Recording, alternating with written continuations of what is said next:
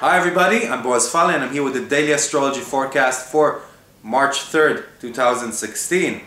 And if you are in Central Europe, you'll be waking up to a moon that is void of course in Sagittarius and it's going to pass on to Capricorn only at about 11 in your morning, Central Europe. That's going to be around 5 a.m. Eastern Standard Time, America.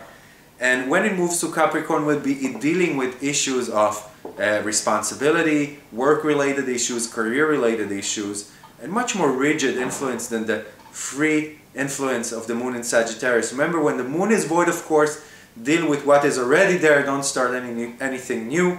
It's not a good time to initiate things.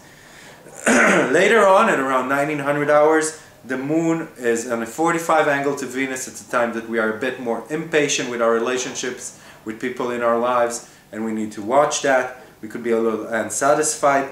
And then if you are in America, you could enjoy it around uh, 2300 hours, the sextile to Neptune that could bring a lot of um, feelings of creativity and spirituality into your nighttime America. If you are in Europe, it would be past your bedtime, so it could only bring you good dreams.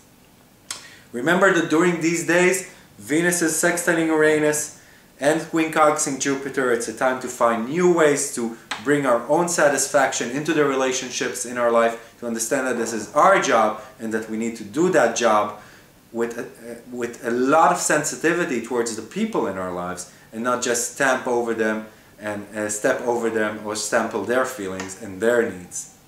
And it's a time to remain disciplined and not rebel and, and, and not be appreciative of things that are already offered to you within your lives. Thank you for listening, and I'll see you all tomorrow. Bye bye.